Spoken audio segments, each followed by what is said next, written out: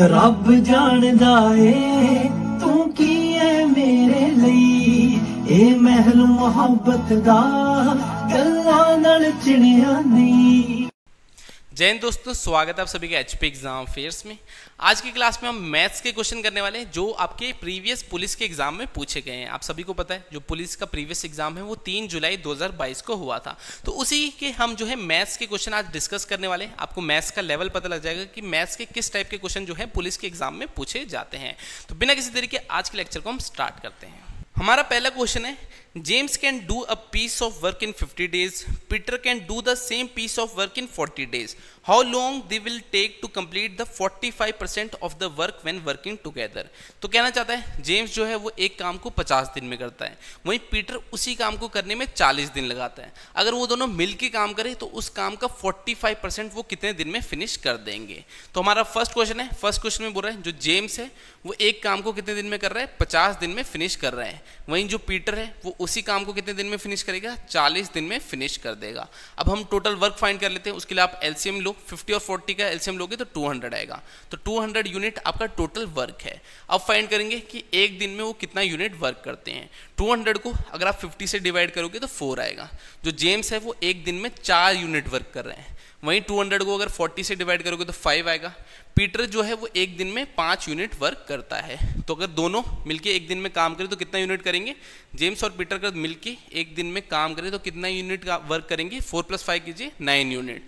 तो नौ unit work वो एक दिन में करेंगे मिलके। टोटल वर्क है हमारे पास 200 यूनिट। मगर क्वेश्चन में बोला था, जो टोटल वर्क है उसका 45 परसेंट ही वो कंप्लीट करना है उन्हें। तो 200 जो है आपका यूनिट टोटल वर्क है, उसका 45 परसेंट निकाल दो तो 45 परसेंट निकालना आपको तो परसेंटेज का यहाँ पर क्या लिखना है आपने? डिवाइड बाय 100 तो ज़ीरो से ज़ीरो दो ज़ीरो से दो ज़ीरो कट हुए टू इंटू फोर्टी कितना हो गया? 90 यूनिट तो 90 यूनिट जो है, वो उन्हें काम करना है. 200 यूनिट टोटल वर्क है, उसका 45 परसेंट उन्हें करना था तो वो कितना होता है? 90 यूनिट होता है. तो 90 यूनिट वर्क जो है उन्हें करना है। एक दिन में वो नौ यूनिट वर्क करते हैं तो बस इसको डिवाइड कर दो। नाइन टेन सा कितना होता है? 90 तो 10 दिन में जो है जेम्स और पीटर उस काम का 45 परसेंट कंप्लीट कर देंगे। तो बहुत ही इजी क्वेश्चन था। फ़र्स्ट क्वेश्चन आपका, जो पुलिस का एग्ज़ाम है, उसमें टोटल मैथ्स के आठ क्वेश्चन आते हैं। और पिछली बार का जो एग्ज़ाम था, वो काफ़ी हार्ड भी रहा था। तो 50 55 ऐसी कुछ कट ऑफ़ गई थी। बाकी कैटेगरी वाइज थोड़ा ऊपर नीचे होता है। तो एग्ज़ाम काफ़ी टफ डाला हुआ था। आप देख लीजिए किस टाइप के जो है क्वेश्चन पूछे जा रहे हैं। तो फ़र्स्ट क्वेश्चन हमने कर लिया। इसका राइट आंसर क्या है? टेन डेज़ जेम्स और पीटर उस काम का फोर्टी कितने दिन में फिनिश करेंगे? मिलकर दस दिन में फिनिश कर देंगे। तो ऑप्शन हमारा डी इसमें राइट हो जाएगा।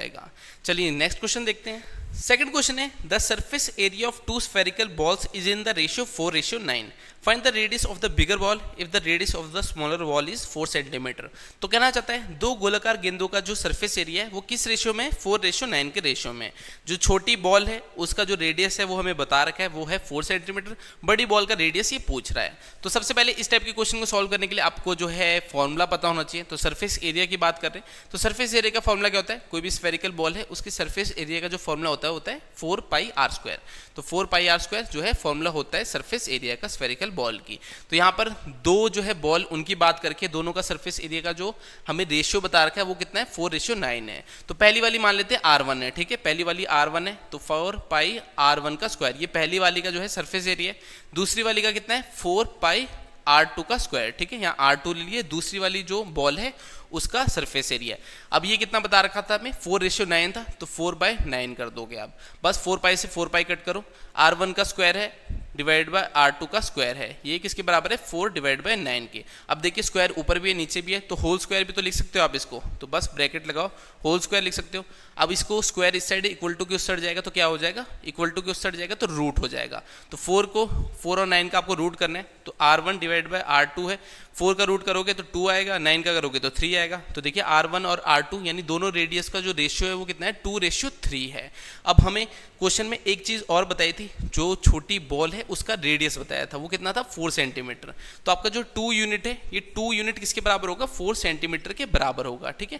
टू यूनिट फोर सेंटीमीटर के बराबर होगा, क्योंकि उन्होंने बता रखा है, जो छोटी बॉल है, उसका रेडियस फोर सेंटीमीटर है। तो बस, अगर टू यूनिट फोर सेंटीमीटर के बराबर है तो एक यूनिट किसके बराबर होगा? फोर को टू से डिवाइड करो, टू सेंटीमीटर सेंटीमीटर के अब हमें जो बड़ी गेंद है, उसका रेडियस फाइंड करना है। तो थ्री यूनिट किसके बराबर होगा? थ्री को मल्टीप्लाई किससे करोगे? इंटू टू से करोगे। एक यूनिट टू सेंटीमीटर के बराबर है। तो तीन यूनिट को आप टू से मल्टीप्लाई करोगे, वो किसके बराबर होगी? सिक्स सेंटीमीटर के। तो यही राइट आंसर है। यानी जो बड़ी बॉल है, उसका रेडियस कितना है? सिक्स सेंटीमीटर है। अब ऑप्शन देख लेते हैं। ऑप्शन यहाँ पर हमें कौन सा दे रखा है? तो ऑप्शन सी इसका राइट आंसर है। तो क्वेश्चन टू का जो राइट आंसर है, जो बड़ी बॉल है, उसका रेडियस है सिक्स सेंटीमीटर ऑप्शन सी इसका राइट आंसर है। चलिए हम नेक्स्ट देखते हैं थर्ड क्वेश्चन है what is the length of the longest pole that can be placed in a room 24 metre long 16 metre wide and 18 metre high तो सबसे लंबे खंबे की लंबाई क्या है, जिसे 24 मीटर लंबे 16 मीटर चौड़े और 18 मीटर ऊँचे कमरे में रखा जा सकता है? तो सबसे पहले फिगर बना देता हूँ। फिगर बना के आपके लिए ज़्यादा क्लियर हो जाएगा।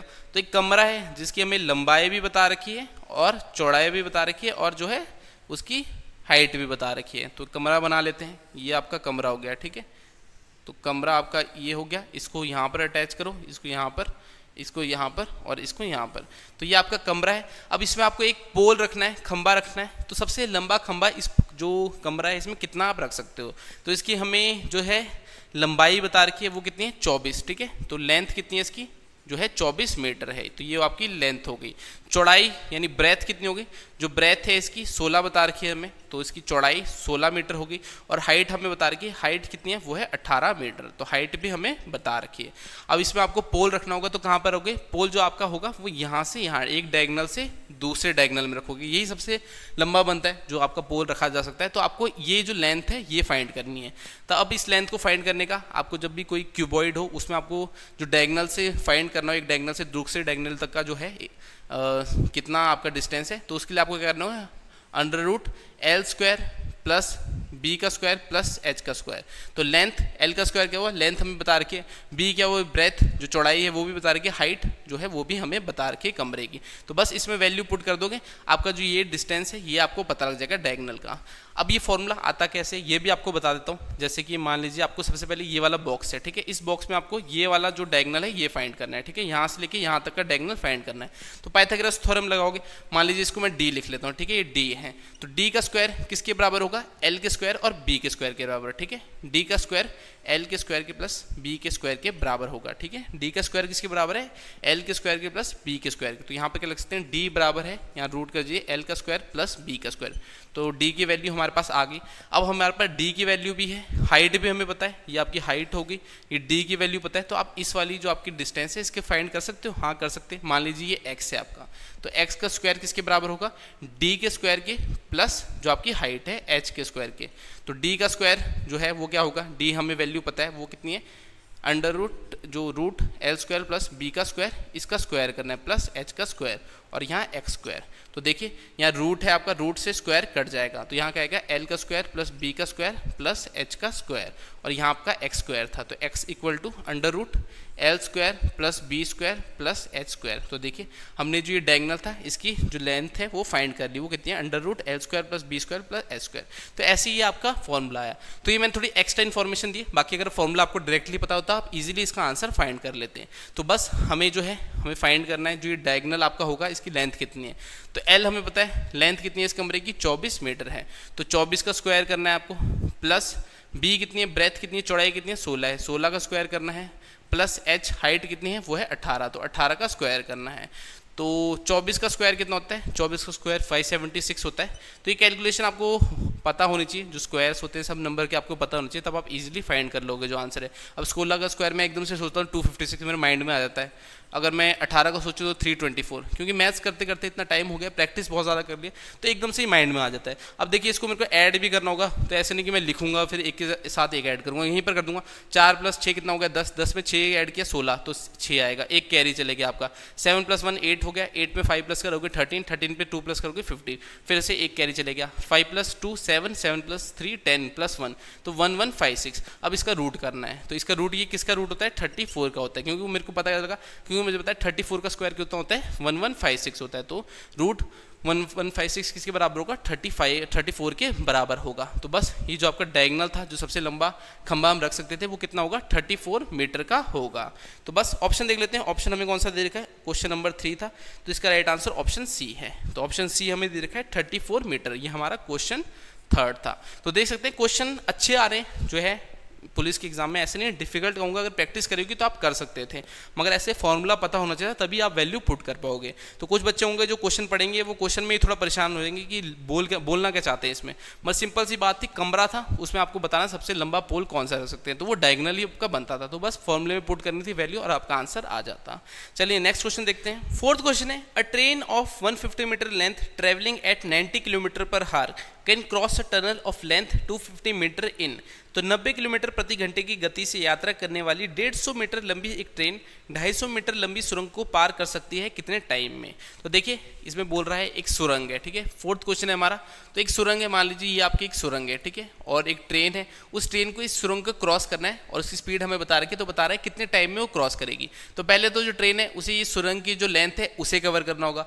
फिर उसका जैसे यहाँ मुँह पहुँचा तो उसे आगे जाना है, अपनी लेंथ भी क्रॉस करनी पड़ेगी ताकि वो ट्रेन को पूरा पार कर सके। तो इस केस में क्या होगा? जो सुरंग की लेंथ है, सुरंग की लेंथ हमें बताइए, वो कितनी है? 250 मीटर है, ठीक है? ये सुरंग की जो है लेंथ है। ट्रेन की लेंथ हमें बता रखी है 150 मीटर। जो ट्रेन है, उसकी लेंथ भी हमें बता रखी है, ठीक है? ट्रेन की लेंथ कितनी है? वो है 150 मीटर। तो डायग्राम भी बनाता हूँ, थोड़ा आपको इजी सा लगे। तो सुरंग को भी क्रॉस करना है और अपनी खुद की लेंथ भी क्रॉस करनी पड़ेगी ट्रेन को। और हमें टाइम पूछा है, वो कितने टाइम में जो है सुरंग को क्रॉस कर देगी। तो सिंपल सा क्वेश्चन है, कभी भी ऐसा क्वेश्चन है तो फॉर्मूला तो आपको बताइए। Distance equal to speed into time तो डिस्टेंस कितना है? डिस्टेंस जो उसे कवर करना है, सुरंग की लेंथ 250 हो गया। प्लस खुद की लेंथ भी क्रॉस करनी पड़ेगी, तभी वो सुरंग को पार कर पाएगी। तो 150 हो गया। तो डिस्टेंस आपका आ गया 400 मीटर। अब यहाँ पर देखिए स्पीड भी हमें बताइए। स्पीड बताई है 90 किलोमीटर पर हार। मगर यहाँ पर एक चीज़ देखना जो आंसर है, वो आपके ऑप्शन देखिए, वो सेकंड्स में दे रखा है। मगर यहाँ देखिए, मीटर तो ठीक है, मगर ये किलोमीटर पर हार में। तो इसको आपको मीटर पर सेकंड में बदलना पड़ेगा, तभी आपका आंसर सेकंड्स में आ पाएगा। तो क्या करना पड़ेगा? इसको आपको मल्टीप्लाई करना पड़ेगा। किससे? फाइव डिवाइड बाई एटीन से मल्टीप्लाई करना पड़ेगा। अब अगर स्टूडेंट्स ने मैथ्स अच्छे से नहीं पढ़ी तो उनको ये भी नहीं पता लगेगा कि फाइव बाई एटीन से मल्टीप्लाई क्यों करना होगा। तो ये भी बताता हूँ, जैसे आपका नब्बे किलोमीटर पर हार है, ठीक है? किलोमीटर पर हार है तो किलोमीटर को आपको जो है, एक किलोमीटर में कितने आपके मीटर होते हैं? तो एक किलोमीटर में आपके जो मीटर होते हैं वो हज़ार होते हैं, ठीक है? तो किलोमीटर पर हार की जगह मैंने हज़ार मीटर लिख दिया, ठीक है? जो किलोमीटर है, एक किलोमीटर में आपके हज़ार मीटर होते हैं तो किलोमीटर की जगह हज़ार मीटर लिख दिया। अब आपका नीचे जो लिखा था, हार लिखा था तो एक घंटे में मिनट कितने होते हैं? साठ मिनट होते हैं, ठीक है? साठ मिनट होते हैं। एक मिनट में सेकंड कितने होते हैं? तो एम की जगह यहाँ पर वापस साठ से कर दो। एक मिनट में साठ जो है सेकंड होते हैं तो एस रह गया। तो देखिए, मीटर पर सेकंड में बदल गया। अब देखिए, ज़ीरो से दो ज़ीरो है, दो ज़ीरो से दो ज़ीरो काटो। ये आपका थ्री टू ज़ा होगा, ठीक है? टू थ्री ज़ा आपका सिक्स होता है और टू फाइव ज़ा आपका टेन होता है। तो देखिए नाइन्टी इंटू ये फाइव है थ्री इंटू आपका सिक्स कितना होगा? एटीन तो देखिए अब ये मीटर पर सेकंड में बदल गया तो ninety into five divide by eighteen तो फाइव बाई एटीन से आप जब मल्टीप्लाई करोगे तो मीटर पर सेकंड में बदल जाएगा। तो बस अब इसको सॉल्व कीजिए। आपका जब इसको सॉल्व करोगे क्या आएगा? एटीन नाइन टू ज़ा होता है और नाइन टेन ज़ा होता है। टू वन ज़ा टू फाइव ज़ा तो five into five twenty five तो ट्वेंटी फाइव आ गया यहाँ पर, ठीक है? ट्वेंटी फाइव जो स्पीड है आपकी 25 मीटर पर सेकेंड आ गई है। बस अब वैल्यू पुट करनी है आपको यहाँ पर। तो distance equal to speed into time है। तो टाइम किसके बराबर होगा? डिस्टेंस यहाँ स्पीड इंटू हो रहा है, ये डिवाइड में चल जाएगा। तो बस डिस्टेंस 400 मीटर है। स्पीड कितनी है? 25 मीटर पर सेकंड तो ये आपका कितना बनेगा? 25 वनजा जब आप इसको सॉल्व करेंगे तो ये आपका बनेगा 16 ठीक है? तो स्पीड जो टाइम है वो 16 सेकंड आ गया, ठीक है? 16 सेकंड में जो ट्रेन है, वो इस सुरंग को क्रॉस कर देगी। तो क्वेश्चन में कुछ भी नहीं था। फॉर्मूला आपके सामने था डिस्टेंस आपको पता था। बस स्पीड इसमें जो थी, वो किलोमीटर पर हार में दी थी। हमने उसे मीटर पर सेकंड में बदला और वैल्यू पुट कर दी यहाँ पर और हमारा जो टाइम है, वो सोलह सेकेंड आ गया है। तो देख लेते हैं ऑप्शन हमें यहाँ पर कौन सा सही है? ऑप्शन सी इसमें राइट आंसर है। यानी क्वेश्चन फोर का राइट आंसर क्या है? ऑप्शन सी इसका राइट आंसर है।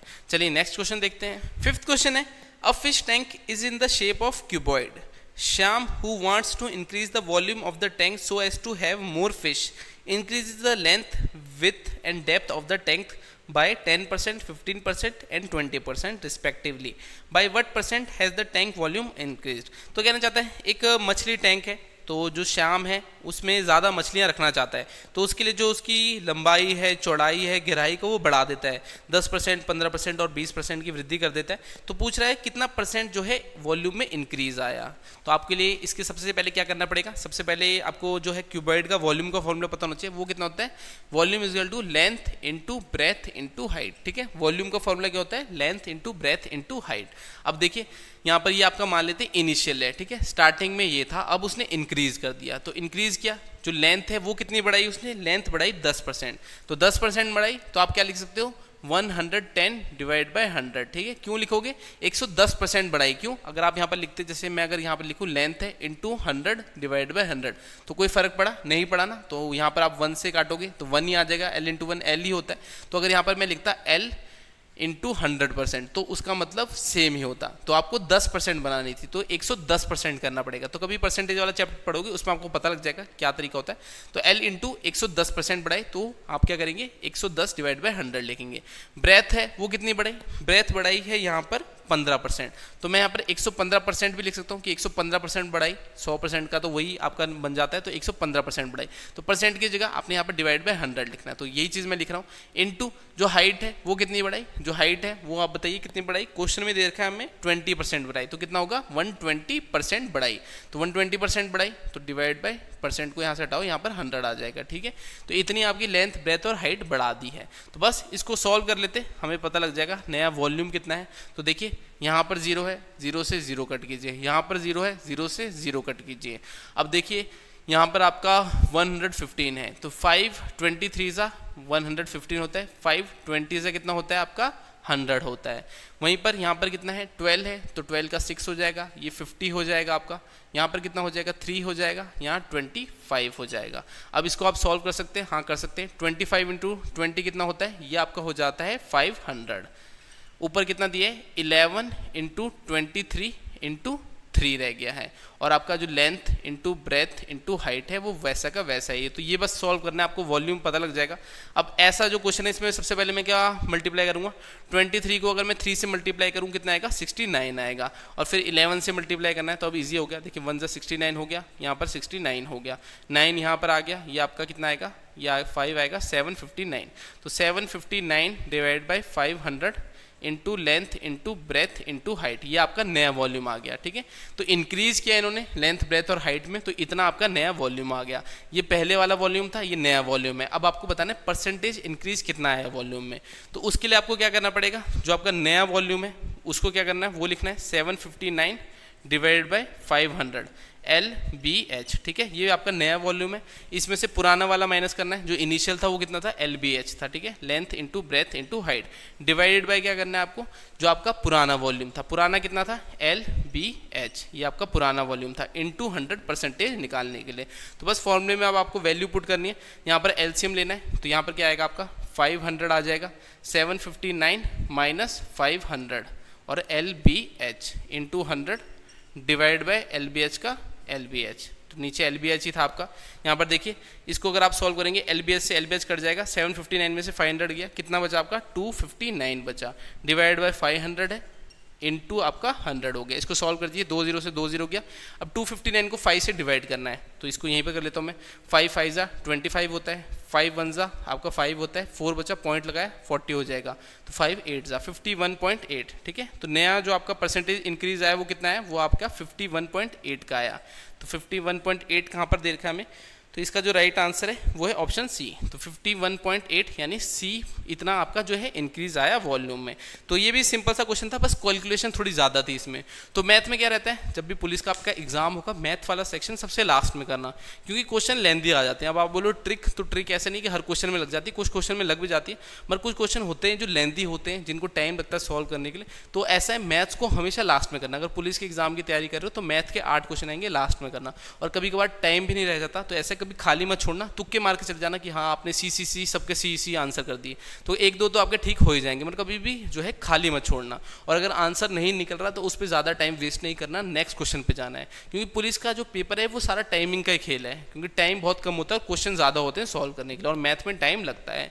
तो एक क्वेश्चन था, इसमें पुराना वॉल्यूम, जो इनिशियल वॉल्यूम था, हमें पता था, नया हमने देखा, जो आपका लेंथ, ब्रेथ इंक्रीज करके वो कितना है, वो आपका जो आया है, ये आ रखा है। बस, जो आपका नया आया, उसमें से पुराना माइनस किया, डिवाइड बाय पुराना। करना आपको जो है परसेंटेज इंक्रीज पता लग जाता है इंटू हंड्रेड करके। तो इसको सॉल्व करके 51.8 हमारा आंसर आया है। तो क्वेश्चन लेंथी तो है। तो पेपर मैंने आपको बोला, जो पुलिस का पिछला पेपर आया था, वो टफ आया था। तभी जो आपकी कट ऑफ़ थी, वो भी कम रही थी, क्योंकि पेपर जो था टफ था। हर टाइप के क्वेश्चन डाले हुए थे और पेपर का लेवल बहुत हाई रखा हुआ था पिछली बार। चलिए नेक्स्ट क्वेश्चन देखते हैं। सिक्स क्वेश्चन है, how many times does the digit 6 appears while writing integers from 400 to 900 तो कहना चाहता है, अगर आप 400 से लेके 900 तक गिनती लिखो तो उसमें 6 जो है वो कितनी बार आएगा? जो 6 है, आपका नंबर वो कितनी बार आएगा? तो सबसे पहले एक से लेके 100 तक देख लेते, आपको थोड़ा आइडिया लग जाएगा। एक से लेके 100 तक जो है 6 नंबर कितनी बार आता है? तो देखिए 6 कब आएगा? 6 आएगा 16 में 6 आएगा। आपका 26 में छः आएगा 36 में भी छः आएगा 46 में भी छः आएगा 56 में छः आएगा 66 में भी छः आ रहा है 76 में छः आ रहा है 86 में छः आ रहा है 96 में छः आ रहा है। अब देखिए 66 वाली लाइन है, इसमें भी छः आएगा।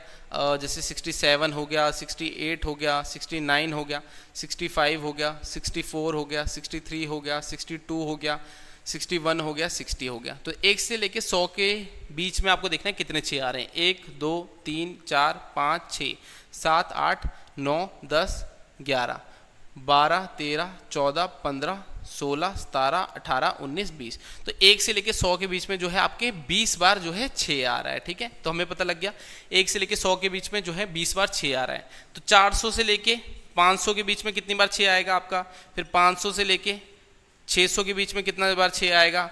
छः सौ से लेके सात सौ के बीच में कितनी बार 6 आएगा? सात सौ से लेके 800 के बीच में कितनी बार छः आएगा? और 800 से लेके 900 के बीच में कितनी बार छः आएगा? तो 400 से 500 के बीच में 20 बार छः आएगा। 500 से 600 के बीच में 20 बार हो गया। 600 से 700 के बीच में 20 बार हो गया। 700 से 800 के बार में 20 बार हो गया। 800 से 900 के बीच में 20 बार हो गया। तो टोटल 100 बार आपका 6 आ गया। मगर जो आपकी 600 वाली लाइन है, देखिए यहाँ पर 600 वाली लाइन है तो यहाँ पर देखिए 600 जो आपका तीन डिजिट तक है ना तो छः आपका कैसे आ रहा है? 600 से लेके छः सौ निन्यानवे। तो यहाँ पर आपका जो है कितनी बार? सौ बार और छः आएगा, ठीक है? पहले तो आपका जो है यूनिट डिजिट है, वहीं चेंज हो रहा है। देखिए छः सोलह, छब्बीस तो यूनिट डिजिट में जब छः छः चेंज हो रहा है तो बीस हो रहा है, ठीक है? तो जैसे आपका 400 से 500 के बीच में जो है, बीस ही छः होंगे। 500 से 600 के बीच में बीस हो रहे हैं, मगर जो आपकी 600 वाली लाइन है, उसमें देखिए तीन डिजिट है। तो आपके यहाँ पर 600 से लेकर छः सौ निन्यानवे। तो यहाँ पर कितनी बार आएगा? सौ बार आपका छः और आएगा, क्योंकि आपके थर्ड प्लेस में भी जो है छः चेंज हो रहा है। जैसे सिक्स सिक्सटी सिक्स है देखिए तीन बार छः तो ये वाला डिजिट भी आपका चेंज हो रहा है ना? तो तभी 600 से लेकर छः सौ निन्यानवे में आपके सौ छः और आएँगे। तो ये हो गया आपका बीस चालीस साठ अस्सी सौ और कितने? सौ, दो सौ छः ठीक है? 206 आएँगे। तो देखिए टाइम कंज्यूमिंग क्वेश्चन था और एग्ज़ाम में आया हुआ था कि 400 से 900 के बीच में कितने छः अब इस क्वेश्चन की कोई भी ट्रिक नहीं है, चाहे यूट्यूब देख लो, कहीं भी देख लो, कोई भी ट्रिक नहीं है, आपको ऐसे ही इसको सॉल्व करना पड़ेगा। तो देखिए, अगर आप ऐसे गिन के करते तो कितना टाइम आपका वेस्ट हो रहा था। तो ऐसा मैथ बहुत लेंदी पूछी गई थी पिछली बार के पेपर में। तो इसका राइट आंसर क्या इसका जो राइट आंसर है, वो है ऑप्शन डी ठीक है? ऑप्शन डी सिक्स क्वेश्चन का राइट आंसर है। चलिए नेक्स्ट क्वेश्चन देखते हैं। हिमाचल में सरकारी एग्ज़ाम की तैयारी कर रहे हो। हर महीने कोचिंग इंस्टीट्यूट्स को फ़ीस भी देते हो। फिर भी कोई गवर्नमेंट एग्ज़ाम क्वालिफाई नहीं हो रहा तो अपना पैसा और समय बर्बाद मत करो। हमने यानी एचपी एग्ज़ाम फेस ने इन्फिनिटी बैचेस स्टार्ट कर दिए हैं, जिसमें हम स्टूडेंट्स को तब तक पढ़ाते हैं जब तक कोई गवर्नमेंट एग्ज़ाम क्वालिफाई ना कर ले। हाँ जी, आपने बिल्कुल सही सुना। जब तक आप कोई भी गवर्नमेंट एग्ज़ाम, पुलिस, पटवारी, क्लर्क, जो जैसा एग्ज़ाम क्वालिफाई ना कर लो, हम आपको तब तक लाइफ टाइम कोचिंग देंगे। वो भी बिल्कुल मिनिमम फ़ीस के साथ। कोर्स में आपको डेली लाइव क्लासेस मिलेगी जूम ऐप के थ्रू जिसमें आप अपना माइक ऑन करके लाइव क्लासेस में ही टीचर से डाउट पूछ सकते हैं। साथ ही 200 प्लस रिकॉर्डेड लेक्चर जिसमें हमने एग्ज़ाम का सारा सिलेबस कवर कर रखा है। सभी एग्ज़ाम का complete study material test series previous paper और भी बहुत कुछ। हमारे टीचर्स आपको एग्ज़ाम स्पेसिफिक अप्रोच के साथ एग्ज़ाम को क्रैक करने की सही स्ट्रैटेजी बताएँगे। कोर्स की डिटेल्स के लिए या बैच ज्वाइन करने के लिए एट पर अभी व्हाट्सएप करें। सेवंथ क्वेश्चन है, Ramesh buys 20 kg of wheat every month for the family. The cost of wheat is increased from rupees 14 per kg to 16 per kg. If Ramesh does not want to increase the expenditure on wheat, then what quantity of wheat should he buy after the price increase? तो question में कहना चाहता है रमेश जो है 20 kilo जो है wheat लेता है अपनी फैमिली के लिए ठीक है जो गेहूँ है वो कितना लेता है 20 किलो लेता है अपनी फैमिली के लिए जो गेहूँ का रेट है वो 14 किलो, यानी पर किलो चौदह रुपये की होती है, वहाँ से कितना सोलह रुपये हो जाता है। तो अब वो क्या चाहता है? जो उसका खर्चा है, जो पहले उसका खर्चा होता है वो उतना ही रहे। तो उसे अपनी कंजप्शन जो है, वो कितनी कम करनी पड़ेगी? तो जैसे पहले बीस किलो ले रहा था फैमिली के लिए तो अब थोड़ी कम लेगा, ताकि उसका जो खर्चा है, वो सेम ही रहे। तो देखिए, ये आपका प्राइस और कंजम्पशन जो चैप्टर है, उसका क्वेश्चन है। तो इसमें देखिए, हमें बता रखा है, जो इसमें रेट है, वो कितना है? फोर्टीन ठीक है? प्राइस कितना है? प्राइस जो है, वो 14 से कितना हो गया? 16 हो गया, ठीक है? प्राइस जो है, बढ़ गया। तो जब भी ऐसा क्वेश्चन आएगा, जो कंजम्पशन है, वो उसकी उल्टी हो जाती है। तो कंजम्पशन कितनी हो जाएगी आपकी? 16 और 14 ठीक है? कंजम्पशन उल्टी हो जाएगी। तो कंजम्पशन अब उसे कम करनी पड़ेगी अपनी। तो आपका इसमें बता रखा है, जो कंजम्पशन थी पहले कितनी थी? वो ट्वेंटी थी। तो ये सोलह किसके बराबर होगा? ये सोलह आपका जो है ट्वेंटी के बराबर होगा, ठीक है? सोलह यूनिट आपकी बीस के बराबर है। तो एक यूनिट किसके बराबर होगी? बीस डिवाइडेड बाय सोलह के बराबर। अब हमें बताना है, जो उसकी नई कंजम्पशन है वो कितनी है? तो नई कंजम्पशन उसकी 40 यूनिट है तो आपको क्या करना है? या वन यूनिट आपकी 20 बाय सिक्सटीन के बराबर तो 14 यूनिट किसके बराबर होगी? 20 divide by sixteen into fourteen के, ठीक है? चौदह मल्टीप्लाई किया दोनों साइड तो बस इसको सॉल्व कर दोगे, आपका आंसर आ जाएगा। तो देखिए, ये सेवन हो गया, ये आपका एट हो गया, ये आपका फोर हो गया टेन हो गया, ये आपका टू और फाइव तो कितना आ गया? Thirty five divide by two ये आपका सेवनटीन पॉइंट फाइव के जी यानी अब उसको जो है कितनी वीट लेनी है? सतारह पॉइंट पाँच के जी वीट लेनी है। पहले वो कितनी लेता था? बीस के जी वीट लेता था, ठीक है? बीस के जी वीट वो पहले लेता था। जो प्राइस था वो चौदह रुपये था, एक किलो वीट का। फिर सोलह रुपये हो गया। तो ठीक है प्राइस जो था चौदह से सोलह हो गया। तो कंजम्पशन उल्टी कर देनी है आपने बस सोलह और चौदह कर देनी है। तो सोलह आपकी कंजम्पशन है, सोलह यूनिट किसके बराबर होगी? बीस के, क्योंकि बीस किलो वीट वो पहले लेता था। तो बस एक यूनिट की वैल्यू कितनी? ट्वेंटी डिवाइड बाई सिक्सटीन अब वो कितनी लेगा? फोर्टी यूनिट लेगा। तो फोर्टीन यूनिट के लिए दोनों साइड 14 से मल्टीप्लाई करो, इसको सॉल्व करोगे, आपका 17.5 केजी आएगा। तो सिंपली अगर इसको मैं दूसरे मेथड से करता तो थोड़ा लेंथी हो जाता। मगर ये थोड़ा ट्रिक टाइप का मेथड है। अगर आप इस टाइप का क्वेश्चन कभी भी करोगे, ऐसे सॉल्व करोगे तो अगर ऐसा क्वेश्चन आता है तो आप इजीली फाइंड कर दोगे। तो कुछ क्वेश्चन ट्रिक से हो जाते हैं, मगर ऐसा नहीं कि हर क्वेश्चन में ट्रिक लगेगी। तो ट्रिक भी नहीं कह सकते मेथड है वैसे सॉल्व करने का।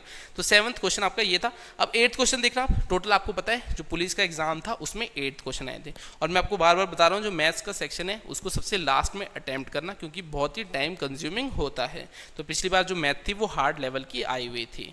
अब एट क्वेश्चन देखते हैं। एट्थ क्वेश्चन है a competitive examination was attended by male and female candidates out of the candidates who applied sixty are female 18% of the candidates have passed the examination. 22.22% of the candidates who cleared are male. What percentage of female candidates have passed the examination? तो कहना जाता है, एक competitive exam है, जिसे जो है mail और फीमेल कैंडिडेट्स ने अटेंड किया, जिसमें से आपकी 60 परसेंट जो थी वो फीमेल थी। तो मान लेते हैं एट्थ क्वेश्चन है हमारा, ठीक है? एट्थ क्वेश्चन है हमारा। इसमें मान लेते हैं टोटल बच्चे कितने थे? सौ बच्चे थे, ठीक है? तो इसमें बोला है हमें जो फीमेल कैंडिडेट्स है, वो 60 परसेंट है। तो 100 का 60 परसेंट कितना हुआ? 100 का 60 परसेंट सिक्सटी होता है। तो बाकी कितने? 40 बचे। तो मेल कितने हो गए? आपके 40 हो गए फीमेल जो है 60 हो गया। तो 100 हमने मान लिया कि 100 बच्चे हैं। क्योंकि क्वेश्चन में बोल रखा है 60 परसेंट फीमेल है तो बच्चे आपके जो है मेल होंगे तो बस 100 माना 100 का 60 परसेंट आपका जो हो गया, कितना? 60 हो गया। तो 60 फीमेल है 40 मेल बच्चे, ठीक है? तो 60 फीमेल और 40 मेल अब कह रहा है 18 percent of the candidates have pass the examination तो 100 में से 18 परसेंट ने पास किया। तो टोटल कितने बच्चों ने पास किया होगा? 18 ठीक है? 18 बच्चों ने ही जो है एग्ज़ाम को पास किया है। अब इसमें आगे क्या कह रहा है? आगे क्या कह रहा है? सौ का 18 परसेंट कितना होता है? 18 ही होता है। तो 18 बच्चों ने जो एग्ज़ाम है वो पास किया, ठीक है? 18 बच्चों ने एग्ज़ाम पास किया है। आगे कह रहे हैं 22.22 percent of the candidates who clear are male तो इस 18 में से जो 22.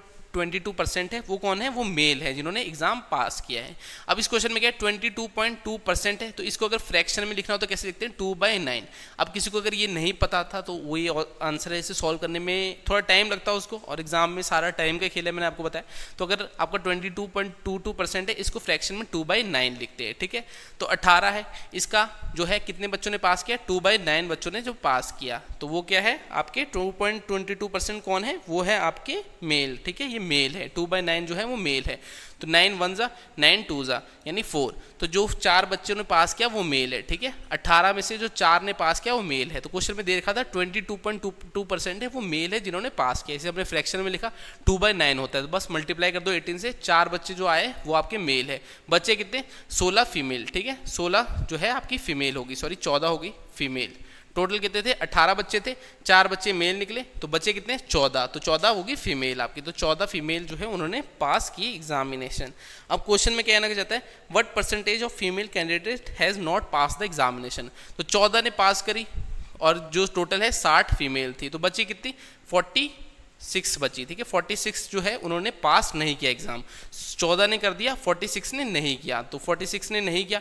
टोटल जो आपकी फीमेल थी, वो सिक्सटी थी। इनटू आपको हंड्रेड करना है, क्योंकि हमें परसेंटेज निकालनी है, कितनी परसेंटेज जो महिलाएँ जिन्होंने एग्ज़ाम पास नहीं किया। तो बस इसको सॉल्व करना है। ज़ीरो से ज़ीरो कट कीजिए। यहाँ ट्वेंटी हो गया, ये आपका थ्री हो गया। तो टू डिवाइडेड बाई थ्री तो ये आपका कितना आएगा? ये आएगा आपका 76.67 परसेंट ठीक है? 76.67 परसेंट इसको जो आप डिवाइड करोगे। तो क्वेश्चन ऐसा है डिफ़िकल्ट पूछे गए थे। अब ये आपका जो क्वेश्चन है, यहाँ पर देखिए मैंने पहले अज्यूम किया कि 100 बच्चे हैं। हमें क्वेश्चन में बताया था कि 60 परसेंट जो है वो फीमेल है तो 60 हमने फीमेल मान ली, फिर 40 बच्चे वो आपके मेल हो गए। 18 परसेंट ने जो है एग्ज़ाम पास किया तो सौ का अठारह कितना हो गया? अठारह बच्चों ने पास किया। फिर बोला जो मेल थे जिन्होंने पास किया, वो ट्वेंटी है। तो वो हमने फ्रैक्शन में देखा कितना होता है? टू डिवाइड बाई नाइन होता है। तो अठारह से मल्टीप्लाई किया, हमें पता है चार मेल ने जो है एग्ज़ाम पास किया, अठारह में से चार गए तो चौदह बते तो चौदह फीमेल ने जो है एग्ज़ाम पास किया होगा। तो कितनों ने नहीं किया? सिक्सटी में से माइनस करो फोर्टीन को, आपका फोर्टी सिक्स तो फोर्टी सिक्स फीमेल ने एग्ज़ाम पास नहीं किया। अब हमें परसेंटेज पूछी थी कितने, जो परसेंटेज फीमेल है उन्होंने पास नहीं किया। तो forty six divided by total female sixty थी इंटू हंड्रेड के इसे सॉल्व किया तो आपका आंसर आ गया। तो देखिए क्वेश्चन काफ़ी अच्छे लेवल के पूछे गए थे एग्ज़ाम में। तो टोटल वैसे आठ ही क्वेश्चन आते हैं आपके मैथ के, और पिछली बार कट ऑफ़ भी मैंने कहा आपको कम रही थी। और पुलिस में कुछ लक का भी खेल होता है। अगर आपका लक अच्छा है तो आप सिलेक्शन भी ले सकते हो। मेहनत के साथ थोड़ा लक भी ज़रूरी होता है, क्योंकि आपको पता है पेपर में टाइम कम है और क्वेश्चन आपके अस्सी आने वाले हैं, उसमें मैथ भी होगी रीजनिंग भी होगी, जो कि टाइम कंज्यूमिंग होती है। तो कभी कभार बच्चों के जो है तुक्के भी सही जगह लग जाते हैं और कभी कभार आप पढ़ के भी जाते हैं, आपके तुक्के भी ठीक नहीं ठीक जगह नहीं लगते और जिस वजह से आपकी सिलेक्शन नहीं हो पाती। तो थोड़ा लक का भी खेल है और थोड़ा आपका मेहनत का भी खेल है। ज़्यादातर मेहनत है, पर थोड़ी लक भी ज़रूरी है पुलिस के एग्ज़ाम में। तो काफ़ी सारे स्टूडेंट जिन्होंने एग्ज़ाम दिया होगा, वो मेरी इस बात से जो है एग्री ज़रूर करेंगे। बाकी आज हमने आठ के आठ क्वेश्चन देखे, जो पुलिस का आपका एग्ज़ाम हुआ था लास्ट टाइम तीन जुलाई 2022 को, वो किस टाइप का आए हुए थे, उसमें मैथ्स के क्वेश्चन तो हमने आज कवर कर ली। अब मैं आपसे अगले क्लास में मिलूँगा। तब तक के लिए शब्बक है थैंक यू